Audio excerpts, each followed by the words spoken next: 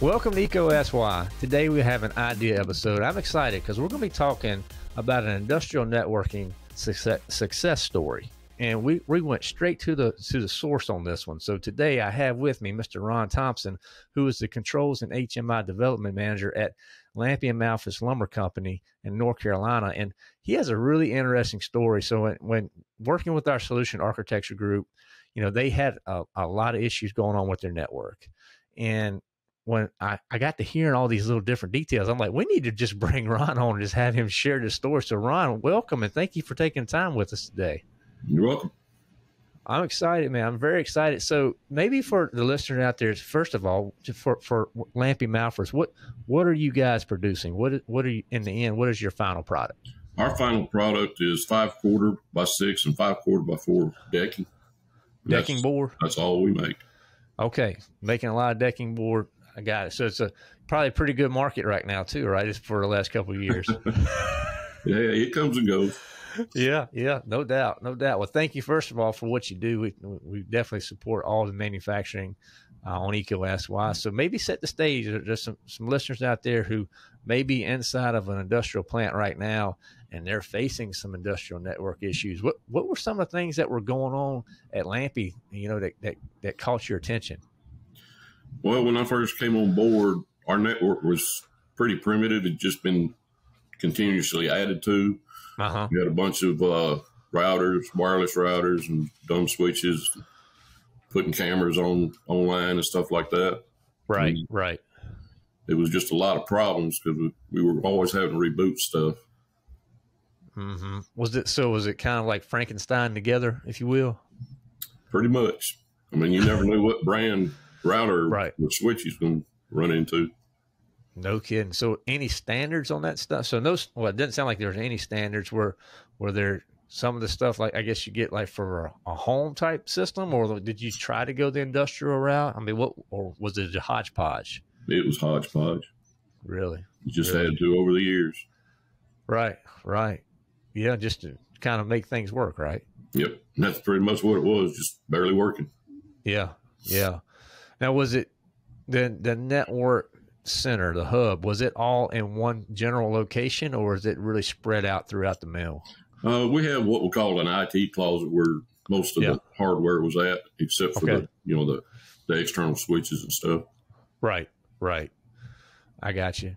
So, I mean, when you start thinking about all those different nuances of the network, what were some of the biggest problems that were that were popping up? Was was was the line going down or anything like that?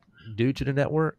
Well, we have uh, some locations that use the wireless extensively, you know, for their mm-hmm. data, and mm-hmm. they go offline a lot of times, and we'd have to figure out what to reboot. It's just it was a headache. Right, right. Any video over your there, wireless?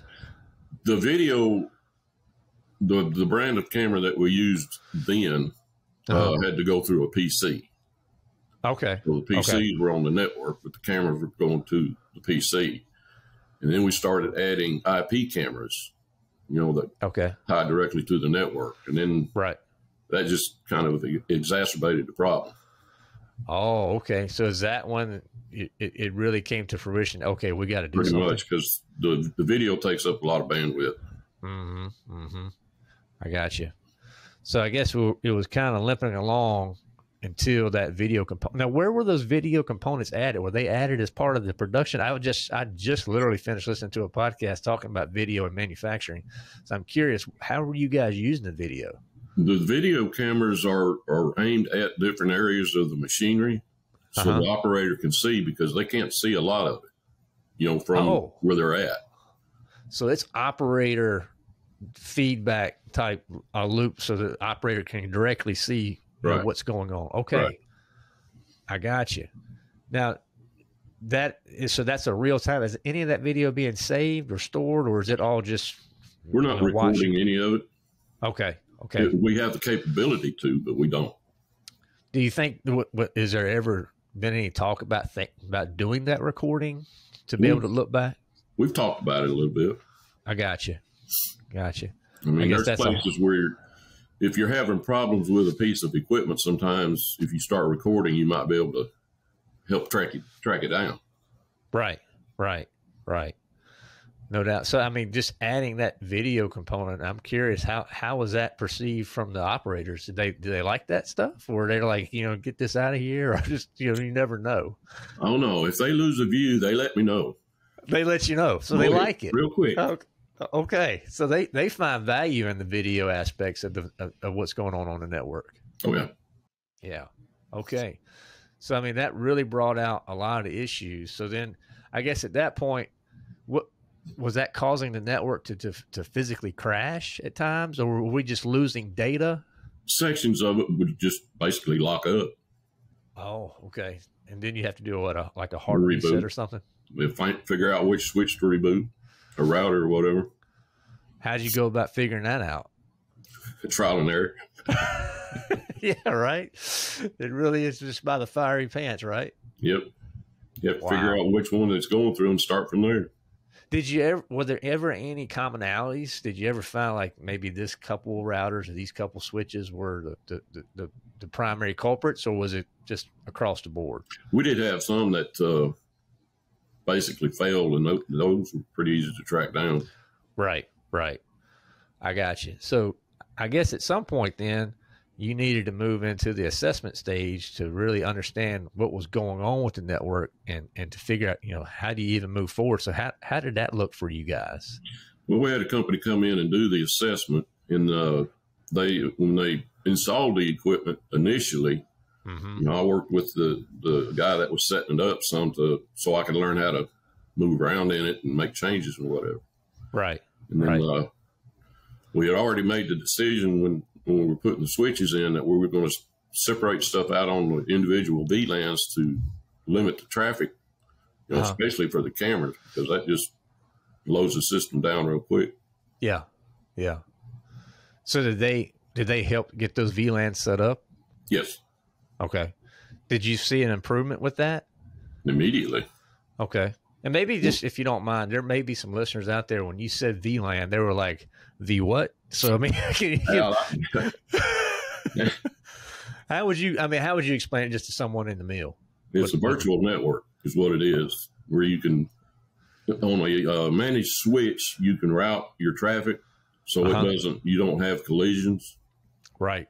And that way it it streamlines it and takes a lot of burden off of the hardware.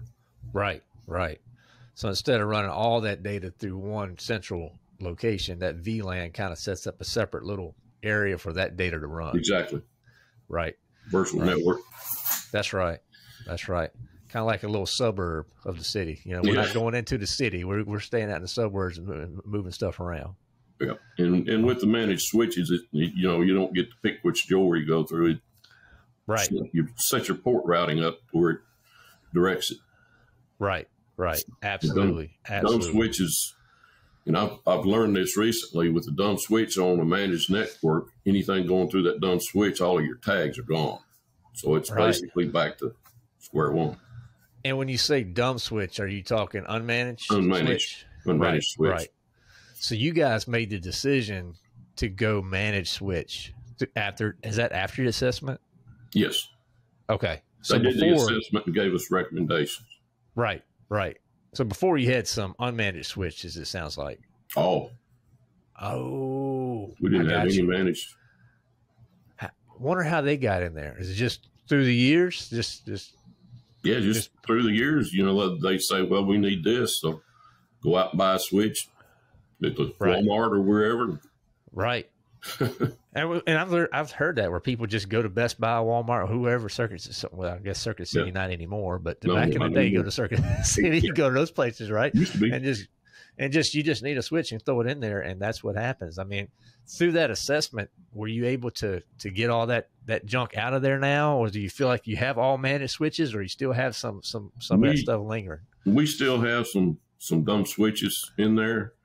Uh, right. We're gradually getting them out Right, right.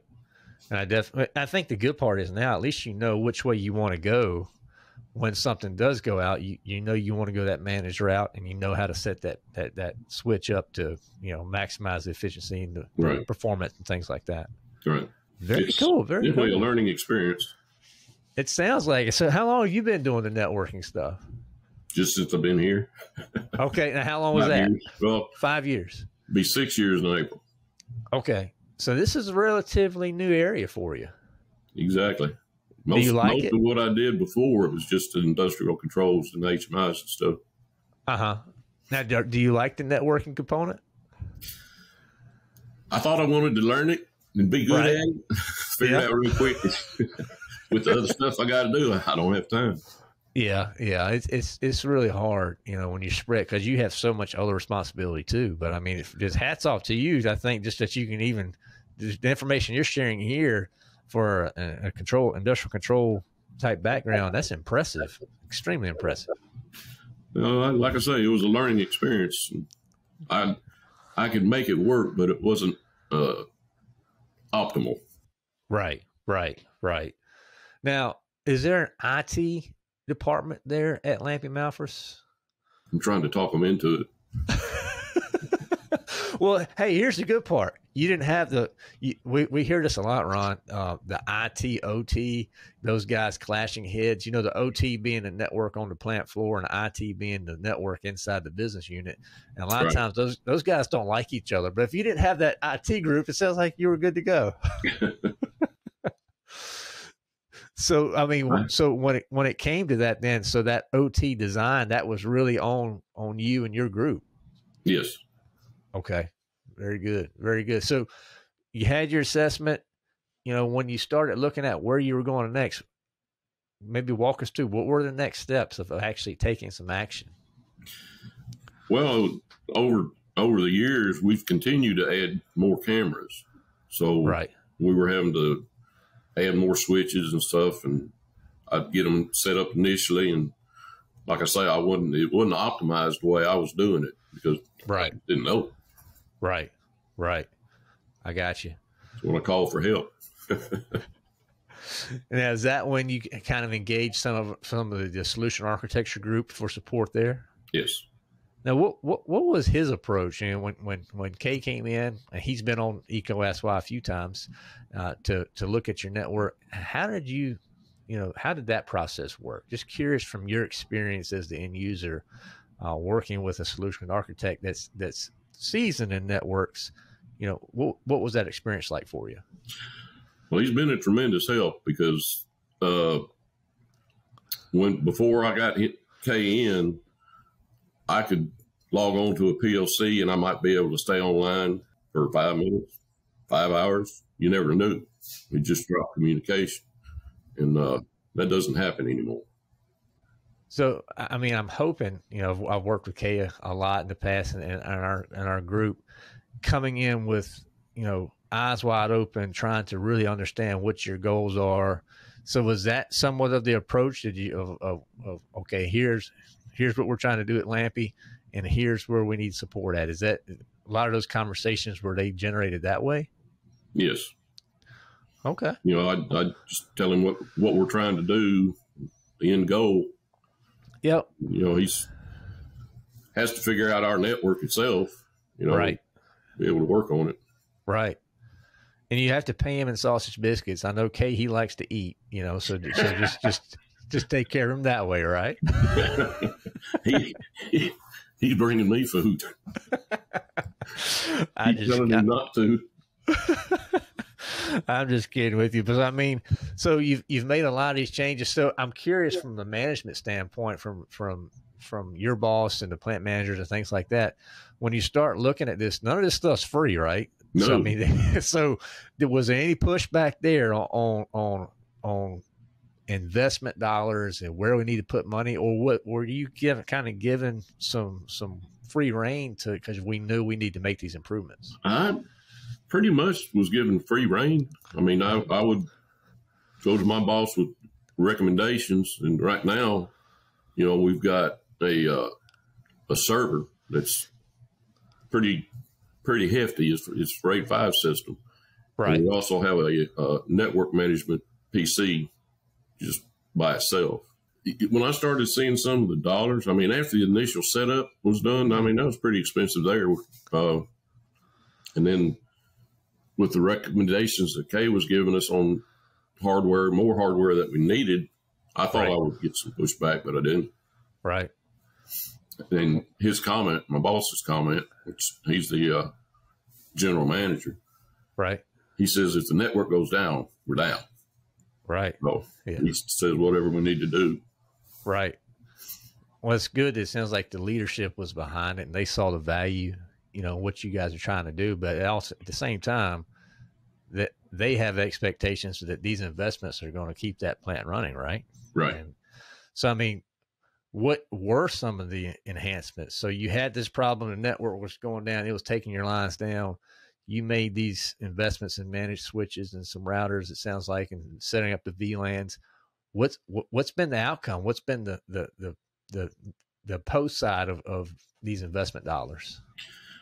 Well, just the simple fact of setting up the VLANs made a big difference because that got all of the video traffic off of the the office traffic. Right. And then uh, we've got, we've got the uh, I don't remember exactly what it's called. It's a Panduit uh, Edge. Oh, Edge controller. That, yes, that okay. monitors continuously. Yeah, that network and it shows you what's what's breathing and what's not. Okay. And that uh, I don't have a full grasp of that yet. Kay's right. working on me though. Is that the uh, the IntraVUE Panduit? Yes. yes. I got you. I got you. So you got you have that there. You're still trying to to I guess adopt that into your practice of how you, uh, uh you evaluate right. your network. Right. Okay. Okay. We also have a mesh network, which is on its own VLAN. Okay. Okay. The, were you involved? Just so you have full uh, Wi-Fi around the mill. Right. You, right. You don't drop out. Right. So, are you using a lot of Wi-Fi devices in the mill? Yes. Okay. Primarily, what type of stuff? They have uh, they have uh, iPads out at the log sorter, which uh-huh. next to the uh, server. Right. Uh, we've actually just installed some equipment that had they're not iPads, but they they are a uh, handheld. Right. Uh, but most of it, we have uh, the boiler manager uses his phone a lot to monitor when he's even when he's at home. He can call into the to his computer and then monitor the boilers and the kilns and stuff.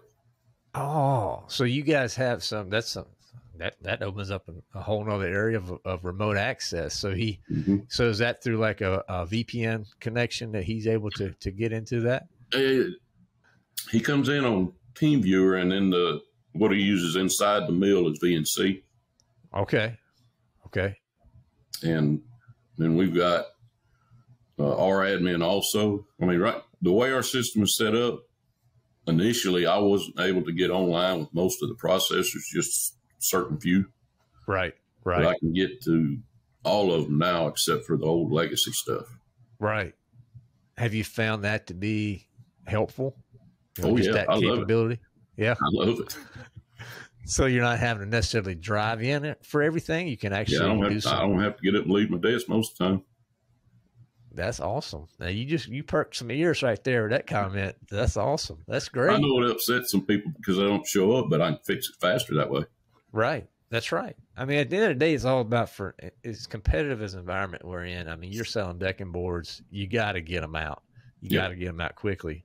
So I mean that that's really where it's at. So I am curious though, any any concerns or any areas of of uh, how well let me let me rephrase the question. How are you guys addressing cybersecurity with this? Because if you're doing remote access, do you have is there is there anything in place to make sure there's no cyber threats? Because we see the stories all the time, you know. Right. Well, the SonicWall handle a lot of that. Uh, that company that okay. manage them, they they keep our backups all the time. Right. Get back our servers and stuff up. Right. And Kay's actually steering me towards some more stuff to uh, help prevent that. Protection. I got yep. you. Okay. Now, Wi-Fi or just smart devices in general. You mentioned the iPads that the operators were using, some different types of. It sounds like operator-specific stuff. Any equipment out there that you're using that will be qualified as smart now? Any like you know, smart overloads, VFDs. Are you pulling any of that type of data back to the PLC now? Yes. Uh, over the network. Okay. Yep. Is that a, been a common practice? Is that fairly new? Any, any trying to just well, understand? I've, I've, been doing it for years, even before I hired on here. Right. You know, I've added some different uh, data links to the drives to get more information out of and stuff like that. Right. What what type? I'm just curious. What type of stuff are you pulling out the drives, or do you find value in? Current is probably the biggest one. Right. Right. Well, but I I set up the data links so I could display it on my HMIs. Okay. pull like the, the, output frequency and the current, the right voltage, bus voltage, uh, temperature of the drive. Yeah. Stuff like that. Yeah. I mean, we we actually had a an issue with the drive that kept tripping on high temp, and uh, come to find out the the fan was blocked, plugged up because it was in a kind of a dirty environment. Right. Right. So well, at least we know the high temp alarm was working, right? Oh yeah, you shut it down. You know, I mean, I mean, sometimes we, we joke at that stuff, but I mean, it's it's there. You were able to take that data, diagnose it, and then go find the problem. I mean, that's that's what it's about. Well, it, and that's what I tell my people a lot of times. You know, they keep complaining about it tripping out or something. I said it's it's protecting itself. Right, right, right. He's, I used to get so tickled, uh, you know, when I first started going to these manufacturing plants and some of these guys would tell me how the overloads work. And I was, I was learning about motor starters and the, tr- the traditional overloads with the heaters in them. And, right. uh, you know, you would just, you know, crank that dial up a little bit and just keep cranking up a little bit more. And, you know, you don't, you know, you don't really worry about protection. You're just trying to get the motor running. I'm like, well, yeah. it, it's probably trying to tell you something because it's tripping, yeah. you know? yeah. this is good stuff. Good stuff. So I mean, if you if you think about the whole journey that Lampe's been on, you it sounds like you've learned a lot through it. We love to give advice, you know, out there for our listeners. So say somebody's sitting where where you guys were several years ago with that network that's tripping out and it's falling down. What advice would you offer up? How how should they get started and, and maybe what some lessons learned that, that would help them along their their their journey? Technology has come a long way in just a few years, and mm-hmm. in industrial networking, uh, managed switches probably, probably the best way to go. Right. That way you can control what data goes where. Right. Right. It's not so just you, broadcast. Yeah. Yeah. So you really find a lot of value in the managed switches and, and how that, that has impacted your the production floor. Now that I know what you know about them, yeah. Right. I, I, knew about managed switches, but I'd never used them. Right. Then also the VLANs in conjunction with that. It sounded like that was a big area for you as well. Right. And I I didn't know what VLAN was when I first started messing with this stuff. Right. Right. Now, have you centralized everything now? So it was, it was all hodgepodge. Is, is it all kind of centralized in one location in the mill now for your networks uh, center, if you will? Well, each each machine center is going to have its own basically network. Right. And then we plug into that. Okay. Okay. So it's it's kind of like different hubs throughout the plant. But we do all we do bring it all back to the IT closet to the main switch. Right. And it sounds like that that closet's gotten a lot better over. Oh, over it was it was a mess when I first started. At least oh, I got, got everything rack mounted now. Oh, so it's all rack mounted. That's probably it's all looking good now. Then it looks a lot better, but it's it's getting better. right, right. Well, you know, slow and steady wins the race, right? You know, so yeah. that's that's right. That's right. That's what I keep telling some of the mills I've been in. You know, they they want to run everything at top speed. Well, lumber is a variable, a big variable, and it's, yeah, you know, you're going to stop and start. And I said, slow it down a little bit, run all day. Right, no doubt no doubt. I'm curious, just just out of curiosity, more than anything, outside of the network, you know. So, supply chain, how's that been hitting you guys in the lumber industry? Uh, the part that's hitting us is uh, equipment, the electronics. Equipment. Mm-hmm. Okay. It takes a lot longer to get switches and stuff like that. Uh huh. Uh huh. Mostly, mostly the electronic side of the controls and stuff, just getting the hardware here. Right, right.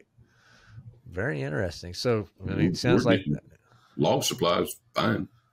Logs are good. Yep. Well, that's good. That's good. Workers good. Mm-hmm. Okay, that's yep. great.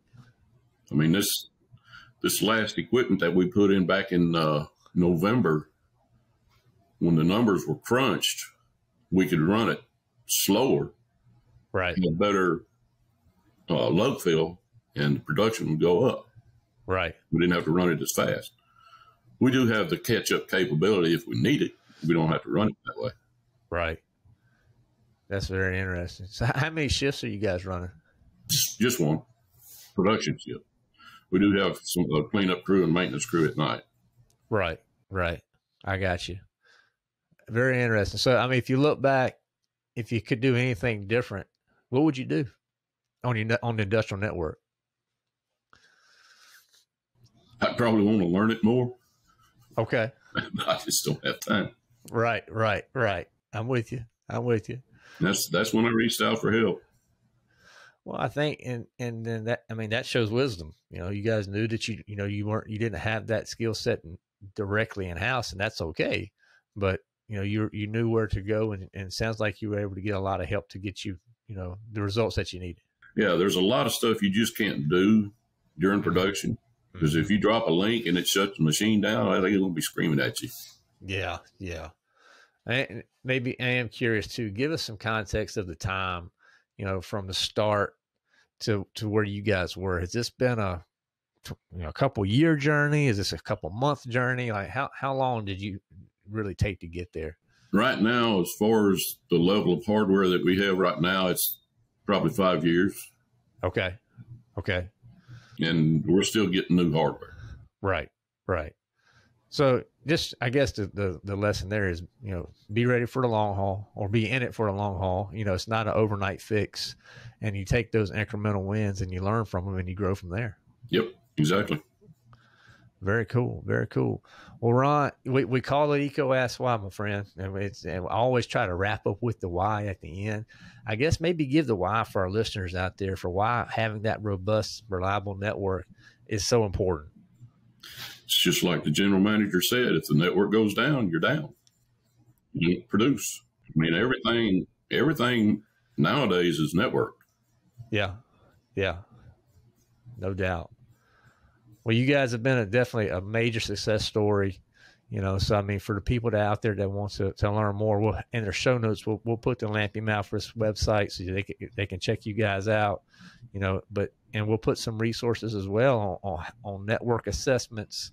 You know, the way that we were able to try to to really walk with Ron through this. So, Ron, you got anything else on this, my friend? Like you say, be ready for the long haul. That's right. That's right. That's right bigger your system is, the longer the haul. And ours has grown. That's right.